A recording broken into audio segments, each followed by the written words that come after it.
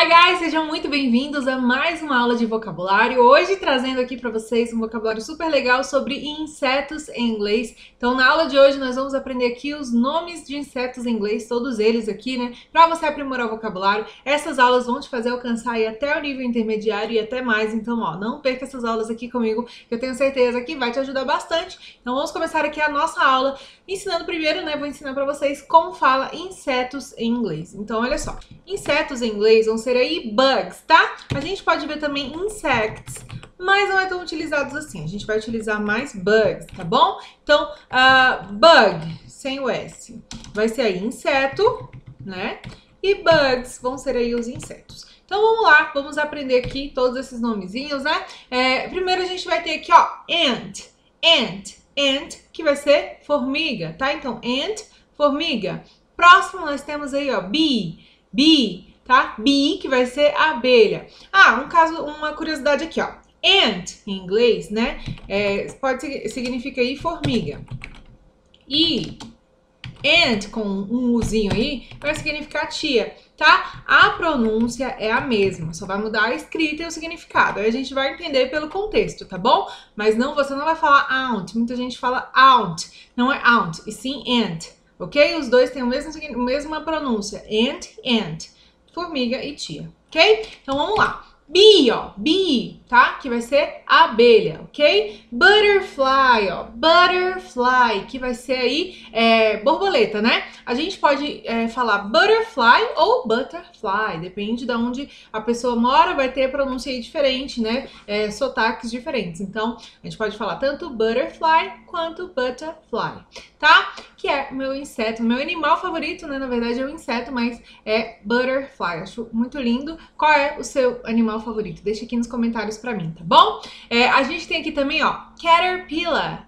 Caterpillar, tá? Que é aí é, a lagarta, né? Antes dela se transformar aí na borboleta. Então a gente tem aí, ó, caterpillar, tá? Ah, e lembrando que, ó, aula de vocabulário você tem que repetir junto comigo aqui para que você consiga fixar o conteúdo, tá? E ó, se você ainda não é inscrito no canal, se inscreve que essas aulas vão te levar aí até o nível intermediário e até mais, porque o vocabulário é a base do idioma, então não perca as aulas, se inscreve aqui para você receber todas elas, tá? Ativa a notificação também. Nós temos aqui também, ó, centipede, centipede, centipede, que vai ser o quê? Centopeia, tá? Então, centipede, centopeia. Nós temos aqui também, ó, cockroach, tá? Cockroach, que é a barata, né? Essa coisinha bem nojentinha aí que a gente tem maior medo. Então, nós temos aí cockroach. Já pensou?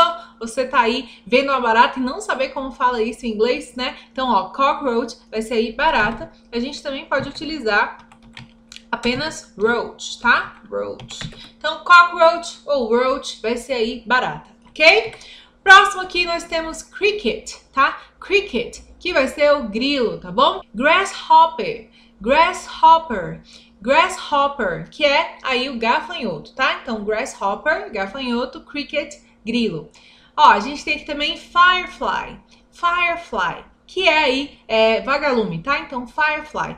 E aí, no plural, vai ser aqui, ó, fireflies, ok? Que aí são vagalumes, ok? Então, firefly, fireflies. Nós temos aqui também fly, que é a mosca, tá? Então, fly, mosca.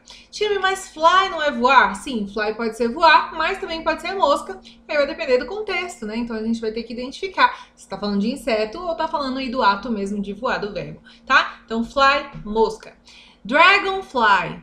Dragonfly. Dragonfly vai ser aí a libélula, tá? Então, dragonfly, libélula. Nós temos aqui, ó, ladybug. Ladybug, tem até aí o, o, desenho, né, da ladybug. Então, a gente tem aqui, ó, que é joaninha, tá? Então, ladybug, joaninha. Próximo aqui, ó, nós temos ciqueira, tá? Ó, tá? Que vai ser cigarra. Então, ciqueira, ciqueira, cigarra, ok? Temos aqui também, ó, mosquito. Mosquito, tá? Mosquito vai ser mosquito aí, né? Que é esses, são esses mosquitinhos aí que a gente tem da dengue, né? E tudo mais. Então, mosquito, tá? Próximo, praying mantis. Praying mantis. Praying mantis, que é o louva-a-Deus, ok? Snail. Snail. Snail vai ser o que? Ó, caracol. Spider. Spider, né? Ó, Spider-Man, Spider-Man. Spider vai ser o quê? Aranha, tá? Então, spider. Nós temos aqui, ó, wasp. wasp.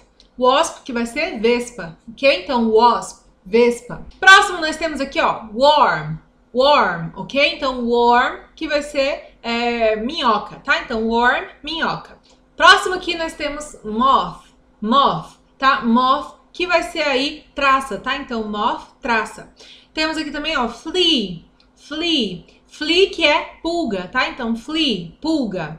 Scorpion, scorpion, scorpion, que vai ser escorpião, né? Nós temos aqui também, ó, tarantula, tarantula, tarantula, que é tarântula. E aqui nós temos beetle, beetle, temos duas pronúncias aí, pode ser beetle ou beetle, beetle, beetle, ok? Que é, uh, aí vai ser besouro, tá? Temos aqui também, ó, louse, Laos, que são esses bichinhos terríveis, né? Que só de pensar já coça a cabeça, que é o piolho, né? Temos tick, tick, que é carrapato, maggot, maggot, maggot, que vai ser aí larva, tá? Então, sempre que você quiser falar larva, vai ser aí maggot. Neat, neat, que são aí as lêndias. Então, nós temos Laos, que é o piolho, terrível, e temos aqui neat, que é aí lêndia. Stick bug, stick bug, Stick bug é aquele bicho que parece um pedacinho de pau, né? Então ele tem exatamente é, esse nome. Stick são galhos, né? Então é porque remete aí a galho. Então a gente tem stick bug, que são aí esses bichinhos que parecem um pedacinho de pau. Por último, nós temos aqui esse bichinho nojentinho também, que é slug, tá? Slug. Slug, que é lesma, ok? Então é isso, esse foi o nosso vocabulário de hoje. Se você gosta desse tipo de conteúdo, curte aqui. É a única forma, né, de eu saber que você está gostando do conteúdo, que você gosta dessas aulas que eu trago para você. Então, ó, não se esqueça de deixar a sua curtida. Comenta aqui embaixo qual bicho que você acha que é nojento, qual bicho que você acha que é bonitinho. Deixa aqui que eu quero saber a sua opinião, tá bom? Também se inscreva aqui no canal para você não perder nenhum conteúdo desse que eu posto. Ativa as notificações para você receber todos eles, tá bom? Então é isso, a gente se vê na nossa próxima aula. See you!